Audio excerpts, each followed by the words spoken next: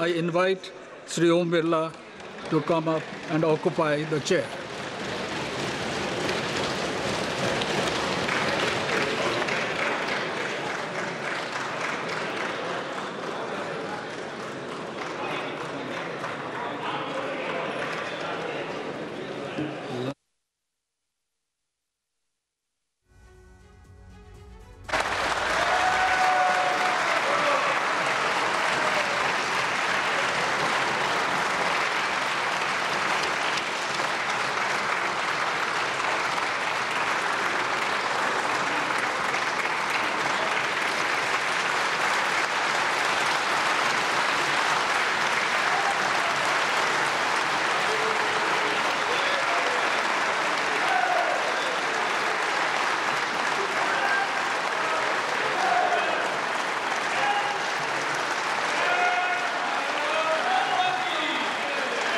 आपके चेयर है आप संभालें।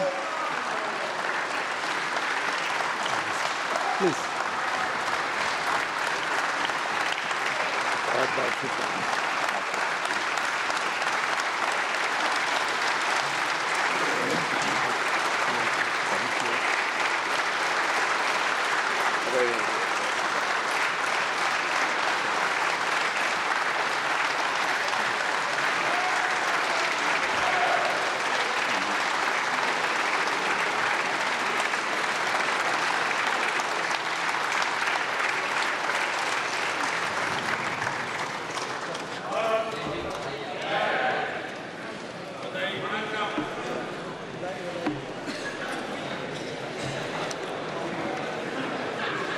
Shri Kiren Rijiju ji.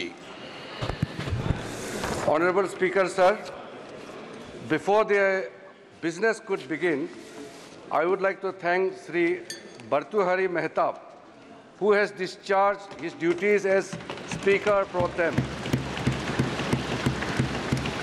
he has completed entire proceedings of oath and affirmation very smoothly within two days until the election of the Honorable Speaker this morning.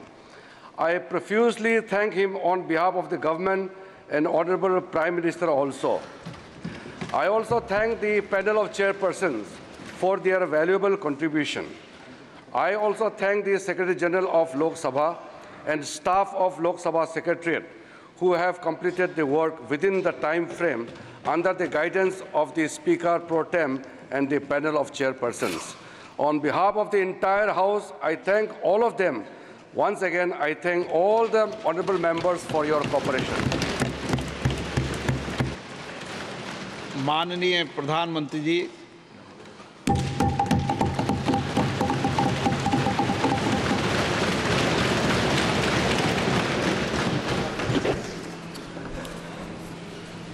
आदरणीय अध्यक्ष महोदय ये सदन का सौभाग्य है कि आप दूसरी बार इस आसन पर विराजमान हो रहे हैं। आपको और इस पूरे सदन को मेरी तरफ़ से मैं बहुत बहुत बधाई देता हूँ।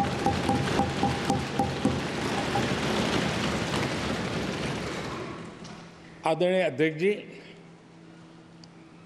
मेरी तरफ़ से आपको शुभकामनाएँ हैं, लेकिन इस पूरे सदन की तरफ़ से भी आपको अनेक अनेक शुभकामनाएँ। अमृत काल के इस महत्वपूर्ण कालखंड में दूसरी बार इस पद पर विराजमान होना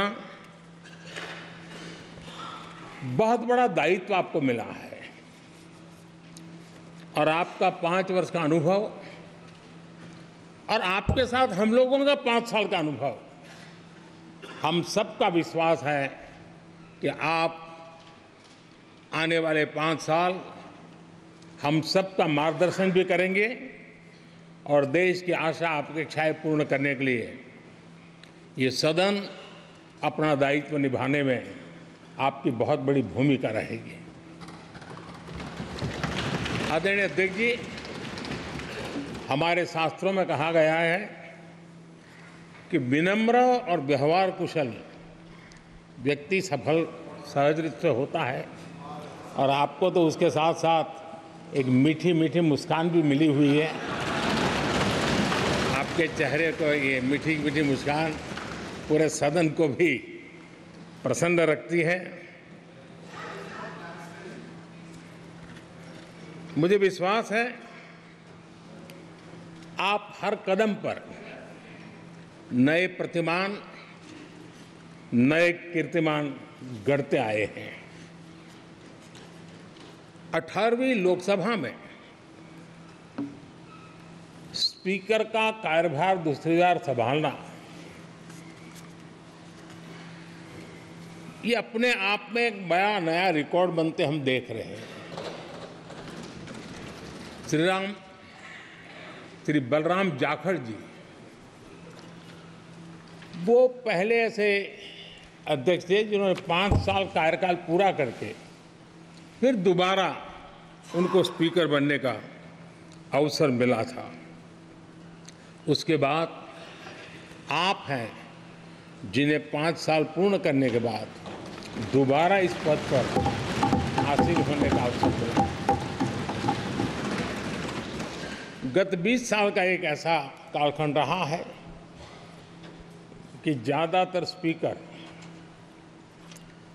या तो उसके बाद चुनाव नहीं लड़े हैं, या तो जीत करके नहीं आए हैं। आप समझ सकते हैं कि स्पीकर का काम कितना कठिन है कि उसके लिए दोबारा जीतना मुश्किल हो जाता है, लेकिन आप जीत करके आए हैं, इसके लिए एक नया इतिहास आपने गढ़ा। आदरणीय अध्यक्ष जी, इस सदन में ज़्यादातर हमारे सभी माननीय सांसद आपसे परिचित हैं, आपके जीवन से भी परिचित हैं। और पिछली बार मैंने इस सदन में आपके संबंध में काफ़ी कुछ बातें रखी भी थी। और मैं आज उसको दोहराना नहीं चाहता हूँ, लेकिन मैं एक सांसद के रूप में और हम सभी सांसद के रूप में आप जिस प्रकार से एक सांसद के नाते काम करते हैं, ये भी जानने योग्य है। और बहुत कुछ सीखने योग्य है। मुझे विश्वास है कि आपकी कार्यशैली एज ए सांसद भी, हमारे जो फ़र्स्ट टाइमर सांसद हैं, हमारे युवा सांसद हैं, उनको ज़रूर प्रेरणा देगी। आपने अपने कार्यक्षेत्र में, संसदीय क्षेत्र में, स्वस्थ माँ और स्वस्थ शिशु एक कमिटमेंट के साथ जो अभियान चलाया है और सुपोषित माँ, इस अभियान को आपने जिस प्रकार से अपने क्षेत्र में प्राथमिकता देकर के, खुद को इन्वॉल्व करके किया है, वो वाकई प्रेरक है। आपने कोटा के ग्रामीण क्षेत्रों में हॉस्पिटल ऑन व्हील्स ये भी एक मानव सेवा का उत्तम काम जो राजनीतिक कामों के सिवाय करने वाले कामों में आपने चुना है, वो भी अपने आप में गांव-गांव लोगों को स्वास्थ्य सेवाएँ पहुँचाने में मदद कर रहा है। आप नियमित रूप से गरीबों को कपड़े, कंबल, मौसम के अनुसार छाता की ज़रूरत है, छाता, जूते, ऐसी अनेक सुविधाएँ समाज के आखिरी तबके के जो लोग हैं, उनको खोज कोर करके पहुंचाते हैं। खेलों में प्रोत्साहन देना आपके क्षेत्र के युवकों में, ये आपने एक प्राथमिकता के रूप से काम उठाया है। आपके पिछले कार्यकाल में, सत्रहवीं लोकसभा में, मैं कहता हूँ कि संसदीय इतिहास का वो स्वर्णिम कालखंड रहा। है आपकी अध्यक्षता में संसद में जो ऐतिहासिक निर्णय हुए,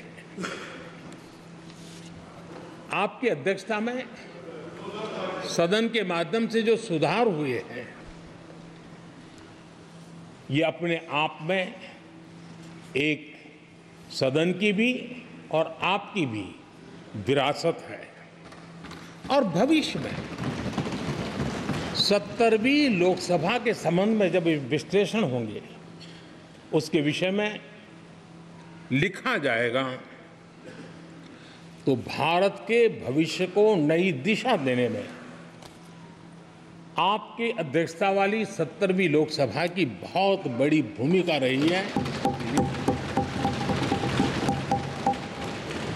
आदरणीय अध्यक्ष जी, सत्तरवीं सत्रहवीं लोकसभा में नारी शक्ति बंधन अधिनियम 2023 जम्मू कश्मीर पुनर्गठन विधेयक, भारतीय न्याय संहिता, भारतीय साक्ष्य बिल, भारतीय नागरिक सुरक्षा संहिता, सामाजिक सुरक्षा संहिता, digital personal data protection bill, मुस्लिम महिला विवाह अधिकार संरक्षण विधेयक transgender persons protection of rights bill consumer protection bill direct tax विवाद से विश्वास विधेयक, सामाजिक, आर्थिक और राष्ट्रीय महत्व के ऐसे कितने ही महत्वपूर्ण ऐतिहासिक कानून सत्रहवीं लोकसभा में आपकी अध्यक्षता के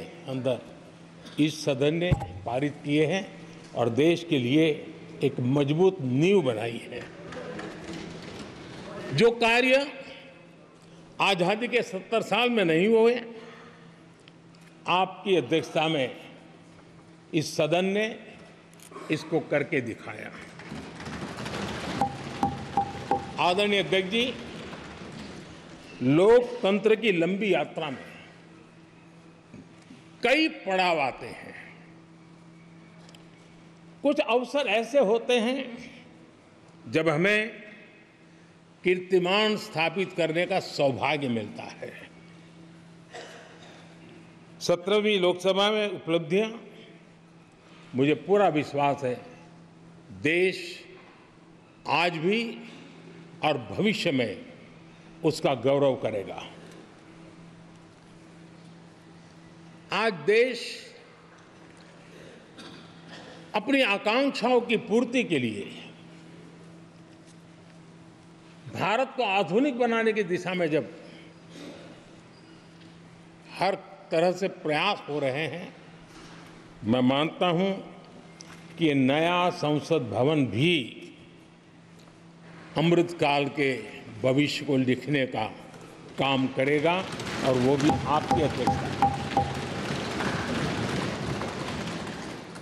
नए संसद भवन में हम सबका प्रवेश आपकी ही अध्यक्षता में हुआ और आपने संसदीय कार्यप्रणाली को प्रभावी और जिम्मेदार बनाने का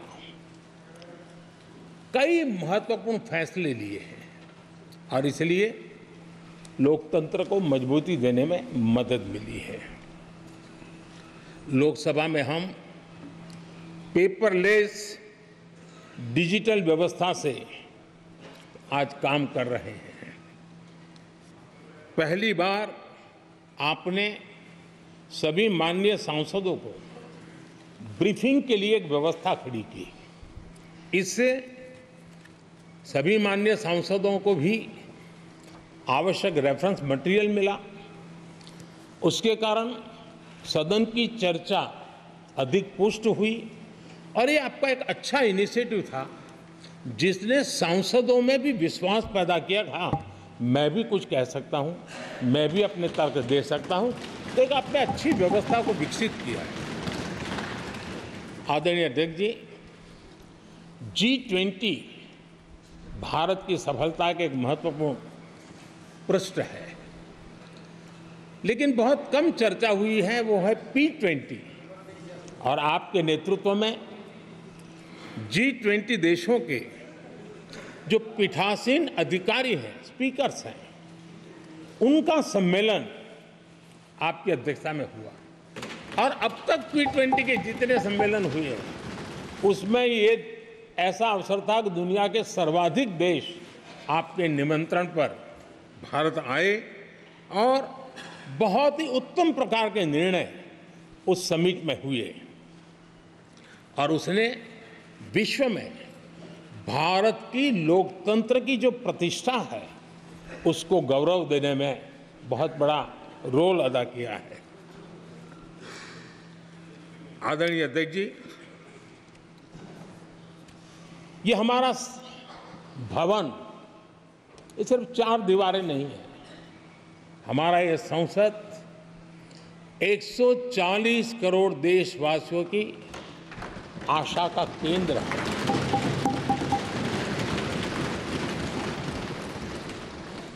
संसद की कार्यवाही, जवाबदेही और आचरण।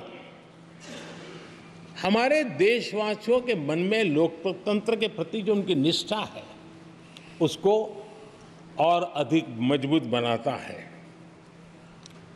आपके मार्गदर्शन में सत्रहवीं लोकसभा, उसकी प्रोडक्टिविटी 25 साल के हाईएस्ट लेवल पर 97 परसेंट रही। और इसके लिए सब माननीय सदस्य तो अभिनंदन के अधिकारी हैं, लेकिन आप विशेष अभिनंदन के अधिकारी हैं। कोरोना जैसे मुश्किल कालखंड में आपने हर सांसद से व्यक्तिगत फ़ोन पर बात करके उनका हाल पूछा। कहीं किसी सांसद की बीमारी की खबर आई तो आपने सदन के अध्यक्ष के नाते व्यक्तिगत रूप से उसकी चिंता की और वो सभी दल के सांसदों से जब मुझे सुनने को मिलता था, मुझे बड़ा गर्व होता था कि जैसे आप इस सदन के परिवार के मुखिया के रूप में उस कोरोना कालखंड में भी व्यक्तिगत चिंता करते थे। कोरोना काल में भी आपने सदन का काम रुकने नहीं दिया। सांसदों ने भी आपके हर सुझाव को सर आँखों पर चढ़ाया। किसी को ऊपर बैठने के लिए कहा तो वो वहाँ जाके बैठा। किसी को दूसरे जगह पे जाकर बैठने के लिए कहा तो वो भी बैठा। लेकिन देश के काम को किसी ने रुकने नहीं दिया। लेकिन आपने ये जो फैसले किए, उसका परिणाम है कि हम उस कठिन कालखंड में भी कार्य कर पाए। और ये खुशी की बात है कि कोरोना काल में सदन ने 170 परसेंट प्रोडक्टिविटी, ये अपने आप में दुनिया के लिए एक बहुत बड़ी खबर है। आदरणीय अध्यक्ष जी, हम सब चाहते हैं कि सदन में आचरण सदन के नियमों का पालन हम सब करें। और आपने बड़े सटीक तरीके से, संतुलित तरीके और कभी कभी कठोरता के साथ भी फैसले लिए हैं। मैं जानता हूँ कि ऐसे निर्णय आपको पीड़ा भी देते हैं, लेकिन सदैव सदन की गरिमा और व्यक्तिगत पीड़ा के में आपने सदन की गरिमा को पसंद किया और सदन की परंपरा को बनाने का प्रयास किया। ये साहसपूर्ण काम के लिए भी आदरणीय अध्यक्ष जी, आप अभिनंदन के अधिकारी हैं। मुझे विश्वास है, आदरणीय अध्यक्ष जी, आप तो सफल होने ही वाले हैं, लेकिन आपकी अध्यक्षता में ये अठारहवीं लोकसभा भी बहुत सफलतापूर्वक देश के नागरिकों के सपनों को पूर्ण करेगी। मैं फिर एक बार आपको इस महत्वपूर्ण दायित्व के लिए और देश को विकास की नई ऊंचाइयों पर ले जाने वाले इस सदन की अध्यक्षता के लिए हृदय से बहुत बहुत शुभकामनाएँ देता हूँ बहुत बहुत बधाई देता हूँ। श्री राहुल गांधी जी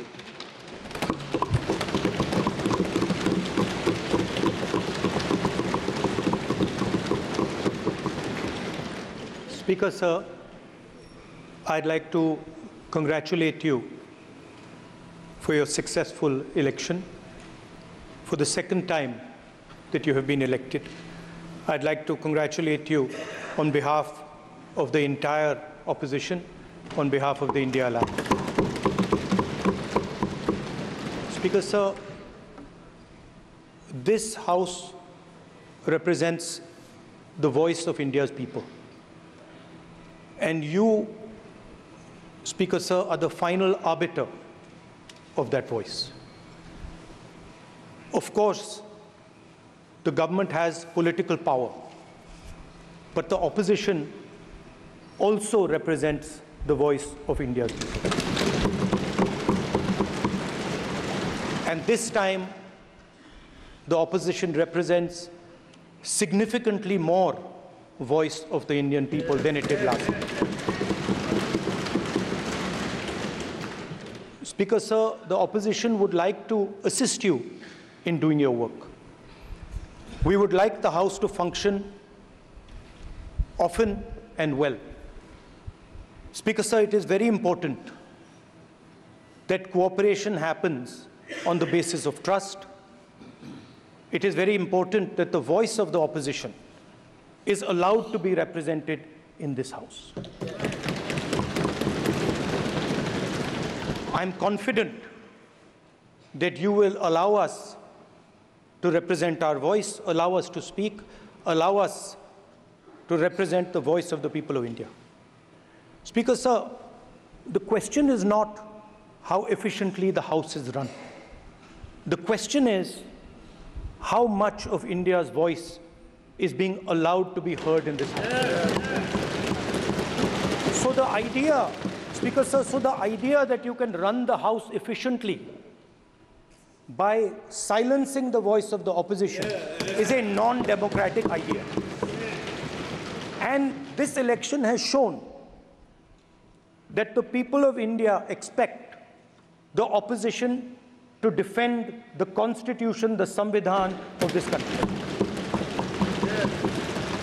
And we are confident that by allowing the opposition to speak, by allowing us to represent the people of India, you will do your duty of defending the Constitution of India.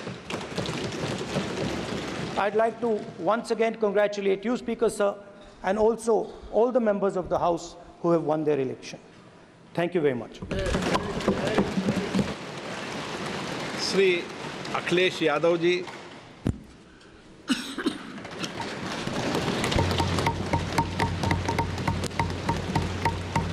Lok Sabha के नवनिर्वाचित अध्यक्ष जी को मैं बहुत बहुत बधाई और शुभकामनाएँ देना चाहता हूँ। जहाँ प्रधानमंत्री जी और हमारे साथी लीडर ओपोजिशन ने आपको बधाई दी है, वहीं मैं भी उनसे जुड़ कर के आपको बधाई देना चाहता हूँ। आप इस सदन के स्पीकर दोबारा चुने गए हैं। आपके पास पाँच साल का जहाँ अनुभव रहा है वहीं आपके पुराने और नए सदन का भी आपको अनुभव रहा है। मैं अपनी तरफ़ से अपने साथ के सभी सदस्यों की तरफ़ से बहुत बहुत बधाई और शुभकामना देता हूँ। जिस पद पर आप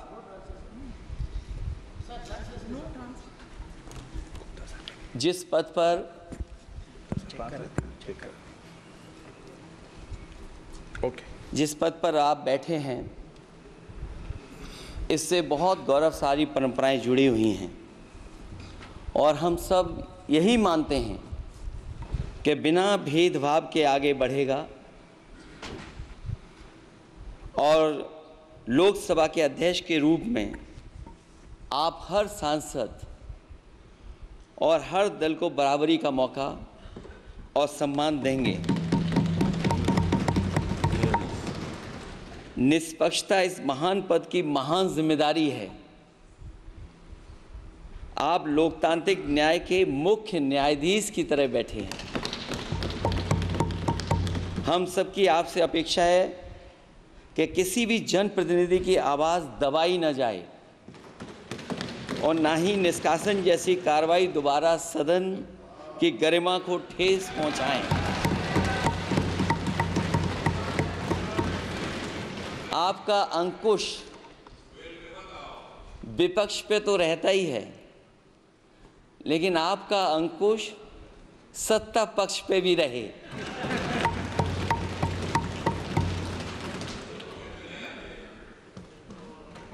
अध्यक्ष महोदय, आपके इशारे पर सदन चले,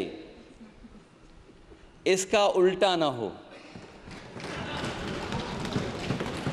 हम आपके हर न्याय संगत फैसले के साथ खड़े हैं। मैं एक बार फिर आपको इस अध्यक्ष पद पर बैठने के लिए बहुत बहुत बधाई देता हूँ। मैं सदन में पहली बार आया हूँ, ये नए सदन में। मुझे लगा कि हमारे स्पीकर की कुर्सी बहुत ऊँची होगी क्योंकि मैं जिस सदन को छोड़ के आया हूँ, अध्यक्ष जी उसकी कुर्सी बहुत ऊँची है। उस समय भी मैं। अध्यक्ष जी किसको कहूँ कि ये कुर्सी और ऊँची हो जाए? जहाँ ये नया सदन है वही मैं आपकी पीठ के पीछे देख रहा हूँ। पत्थर तो सही लगे हैं सब कुछ अच्छा लगा है। लेकिन कुछ दरार में मुझे कुछ सीमेंट अभी भी लगा दिखाई दे रहा है। अध्यक्ष महोदय मुझे उम्मीद है कि आप जितना सत्ता पक्ष का सम्मान करेंगे उतना ही विपक्ष का सम्मान कर करके हमें भी अपनी बात रखने का मौका देंगे। मैं आपको बधाई देता हूँ, शुभकामनाएँ देता हूँ। हर तरीके साथ आपके साथ हैं। बहुत धन्यवाद।